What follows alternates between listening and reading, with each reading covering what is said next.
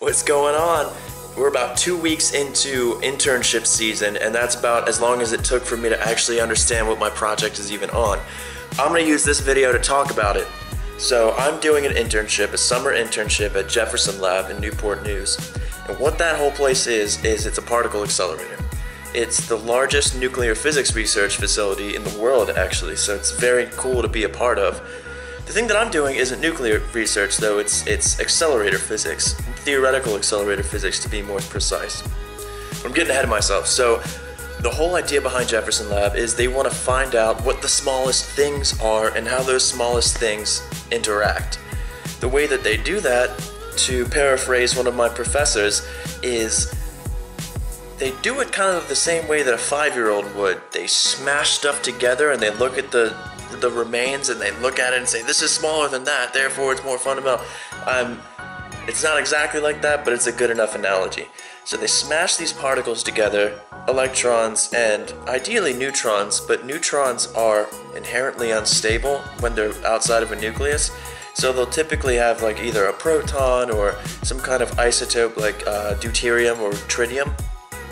And they'll fire electrons at it, bombard it, smash the nucleus up and study what happens through like the scattering that the electrons do off of that.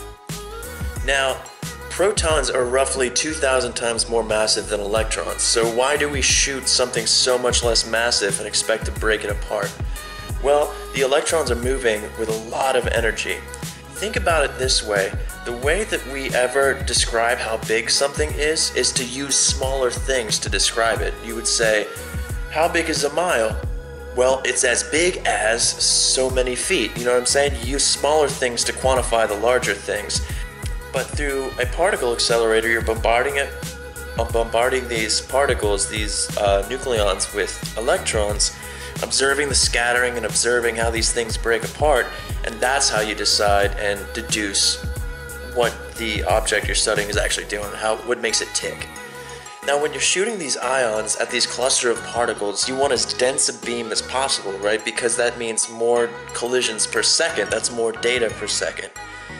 Uh, when these ions come out of the beam, they're not so dense, so there needs to be a way to make them more dense and make a more concentrated beam, kind of like a laser. And the way that they do that is if you picture this beam of ions as being really hot, meaning having a lot of average kinetic energy, what we call transverse energy. So energy of kind of orbiting around it per se. It's not longitudinal, not in a straight line. You can think of that as it being hot. Uh, the way to make it less or more dense is you can shoot a beam of electrons above those ions at the same relative velocity that are cold. And what this does, you don't have to have a whole course in thermodynamics to know that if you have a cold thing next to a hot thing, the cold thing gets hotter and the hot thing gets colder. That's the that's the idea of electron cooling, and that's what I'm essentially making my contribution to. So as you shoot these these electrons over these ions, the electrons get warmer and the ions get colder the colder it gets, the less uh, transverse energy the beam has, and the tighter it gets, and that's that's what we want. So you could say, okay, well, why not just have like a huge current in an electron gun shooting over it at the same velocity? Problem solved. You can get as dense a beam as you want, and you're right for thinking that that would completely work. It's just absolutely inefficient. The I think the world record electron gun that has been made. I think it was made at Fermilab, and it's on the order of about 75 milliamps. The current we would need in order to get the beam as dense as we want it would have to go up to about an amp. So 75 milliamps, that's what? 7, 75 times 10 to the minus 3 amps.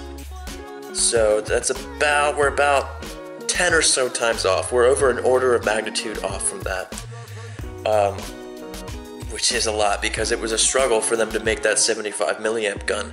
So we need another method by which we can get that beam tighter. And this is where I come in. So there was a PhD student that learned that okay, well, instead of just having current flowing over it, why don't we cool off these ions and recycle them? So if you want to start recycling these electrons, it's not so clear how many bunches you should let go by before you do them again. So there's these things called cavities in a particle accelerator, which basically supply a magnetic field. And for reasons we don't need to get into, that makes it so that you don't necessarily have to have that continuous current anymore. You can get the same result by creating this magnetic field at a particular frequency, which can be made by summing harmonics. That's a fancy way of describing an even fancier equation that's right here. And this equation right here is basically what my entire project is about. It's telling us that we can create this magnetic field in a cavity by summing cosines and sine waves. Um, and what this corresponds to is let's is letting so many bunches of electrons go by, and I want to find the perfect amount of electrons to go by and the perfect combination of you see these a sub i's that are up here as well the perfect combination of these a sub i's that gives me the smallest value of this f min so like I said, I'm, or I don't know if I said it actually, but I'm the optimization guy essentially. I'm running a computer program in the programming language called Python, which is going to make that function that I just showed you as small as possible by selecting for those a sub i's that yield the smallest answer.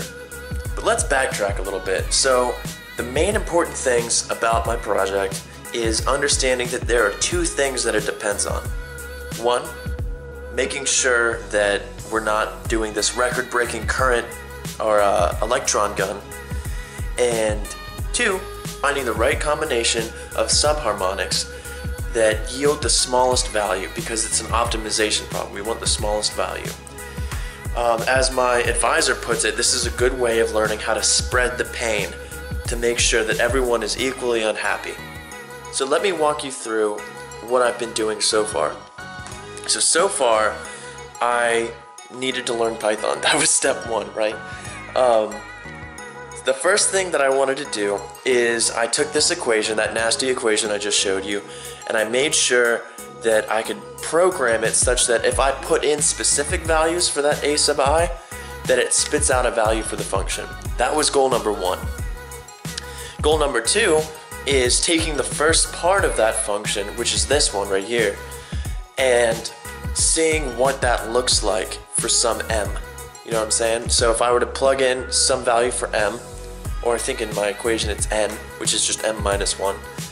Um, so I've put in some value for m, put in a bunch of values for my a sub i, and then it graphs it for me. And that gives you so much more perspective as to what you're actually looking at. So guys, if you're ever solving a problem and you don't really know where to go from there, plot it out. This is weird lighting. I'm not gonna be near the weird lighting. We're leaving.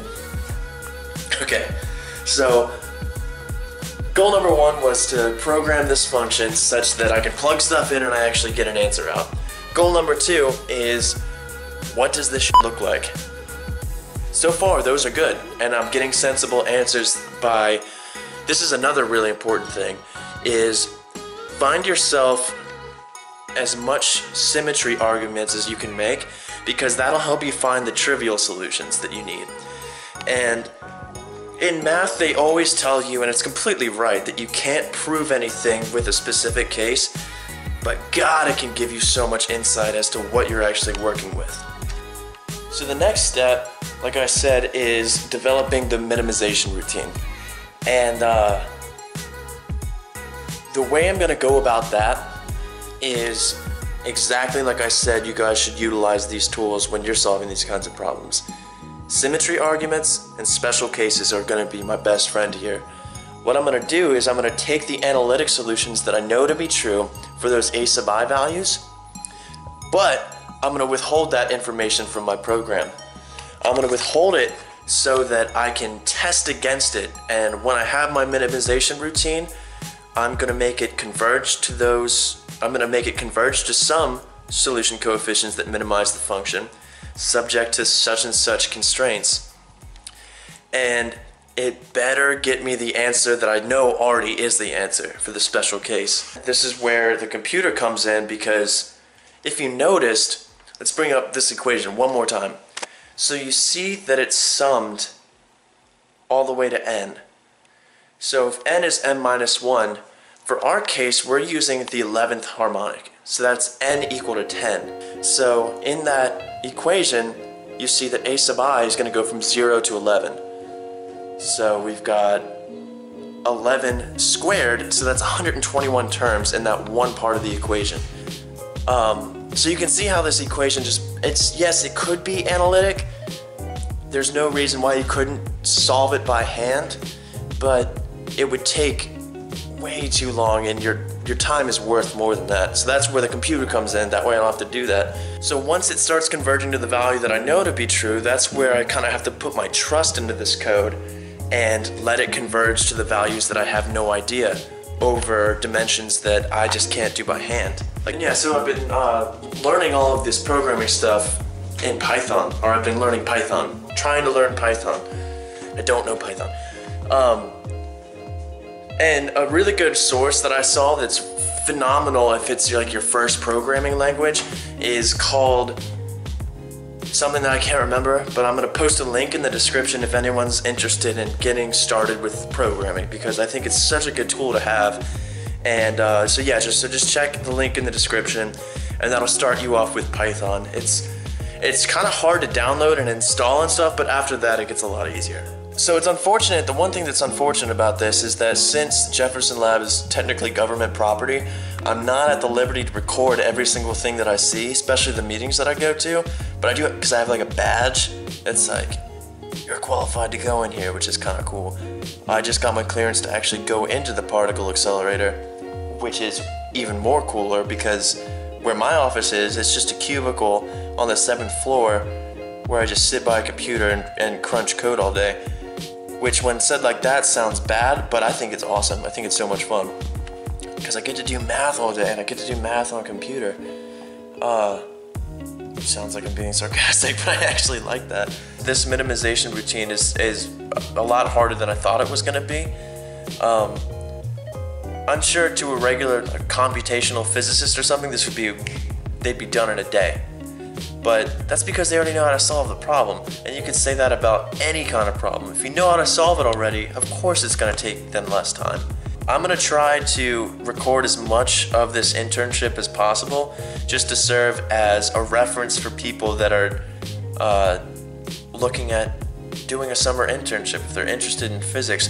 And you don't have to be a physics major to have this kind of internship. There's math majors, mechanical engineering students, uh, dance majors. I'm just kidding. There's no dance majors. Um, but yeah, I just I want I want people to be able to look at this channel and at the end of the video say, okay, I know what to expect now. That's that's really what I want to do with this entire channel. So throughout the next few weeks, I'm gonna be putting up, you know, breakthroughs I've had with this internship, plateaus and brick walls that I've hit. I want you guys to see it all. I want you guys to really see what it's like. And now it's the beginning of stages, so the beginning stages, so there's not too much, but you guys are gonna see everything. So I know it must not have been too much fun just watching me talk. Uh, the next videos will definitely have more, less of a monologue between me and the camera because I kind of hate doing that. Uh, I'd like to be able to talk to more of the other student interns and see how their stuff is going show you guys the lab, show you guys my cubicle. Uh, yeah. So stay tuned for the next episode of Dragon Ball Z. Bye.